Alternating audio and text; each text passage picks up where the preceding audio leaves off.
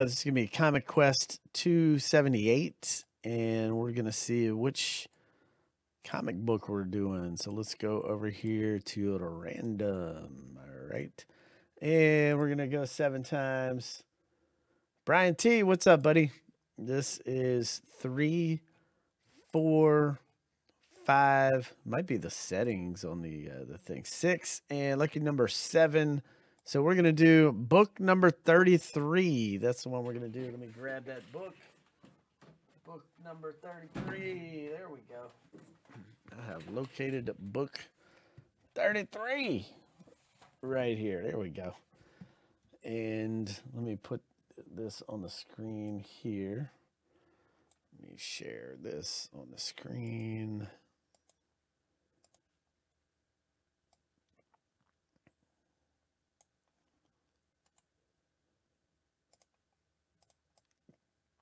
And we can pop this thing. Hopefully everybody can, there you go.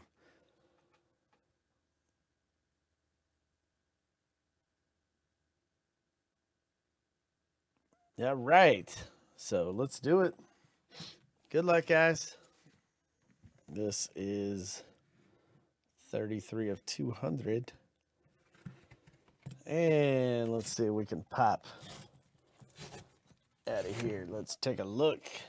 And let's see what's in here. Let me hide this so we can see who gets that last. Let's see what book it is. Oh, that's cool. This is a good one, man. This is Stabbity Bunny number one, which is really good, by the way.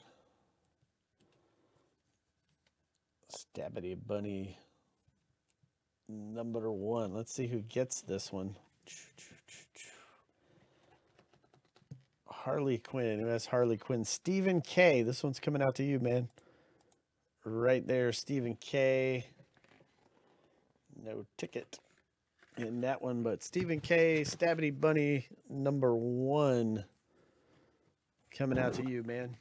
That's like one of these cult classic books that took on a whole life of its own. It's very funny story how that book came about. Like if you Google it or if you know anybody knows anything about comics, go to your comic shop and I'll tell you all it's, it's pretty pretty funny. But Stephen K coming out to you, man. Brian T, am I sick? No, not not at all. Might be just